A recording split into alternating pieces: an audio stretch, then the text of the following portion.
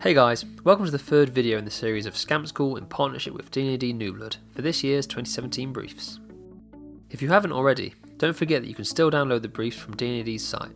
We've got a link in the description, and be sure to check out Scamp School's main channel for extra tips or advice on scamping.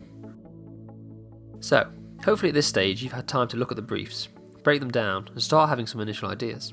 But how you present those ideas is sometimes just as important as the ideas themselves.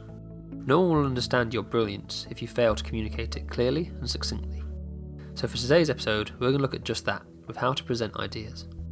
Now for this video, we're not just going to cover presenting ideas to D&AD judges, we also want to talk about some of the best practices for sharing ideas with tutors, judges, and even in your first job. To start with, what is it that makes for a good deck? In our opinion, it breaks down to these three elements clear ideas, simple visuals, and telling a story. Going into more detail on those, the very first task you should do once you've got your idea is to give it a name. You have no idea how many ideas are sold because of their catchy titles. A title works so well because it gives your creative director or client a way to refer to the idea in shorthand. It's easier to keep in the memory than a full on paragraph of description. After that, you want to write a brief description for your entire creative thought. The simplest way to think of this is like an elevator pitch. How do you describe your idea if you only had 30 seconds? What are the absolute vital components of the idea? What's the context for why it's such a brilliant idea? And why should I carry on listening by the time you finish this sentence?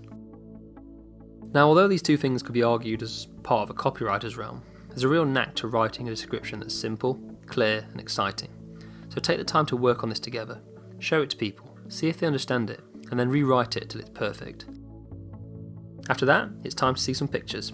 Hopefully, by this point, whoever is listening to your description has their imagination sparking coming up with how they see this thought in their heads.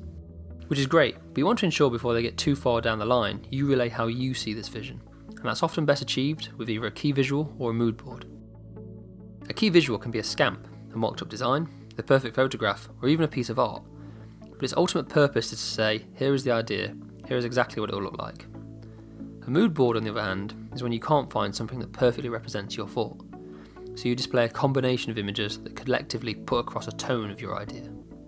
We've got a video on Scamp School's main channel for creating mood boards if you want help with creating a smart looking one. By this stage, your reader should know what your idea is, how you envision seeing it, and what it's called for them to refer back to later. With these three elements, you've given your idea the best possible chance at being understood, and you have hopefully done this in something that only takes 30 seconds to go through. From here on in, it comes down to the individual brief, whether that be going into press executions or full blown digital app ideas, the trick is to always keep it as short and simple as possible. Keep your descriptions minimal.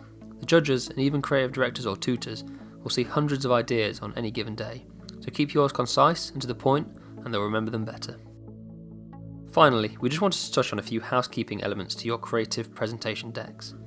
First, keep them neat InDesign, PowerPoint, Photoshop, whichever you choose to make your deck with, have lots of tools to make sure things line up evenly in a graphical way.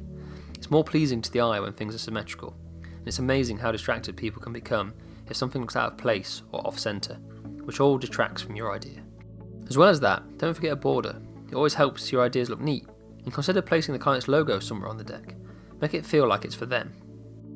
Lastly, try and create a consistent theme throughout your deck. Perhaps it's always having copy on the left and images full bleed on the right. Or perhaps only using full bleed images on every page. Or the opposite, no images, but a mood board and really small, sophisticated fonts. Just take the time to consider either the brand you're working on or your idea and how best represents it. Hopefully, guys, that helps you with how to get your ideas down in the best manner possible. As always, these aren't the absolute rules of presenting ideas, but just some methods we've discovered over our time in the industry and what's had success for us.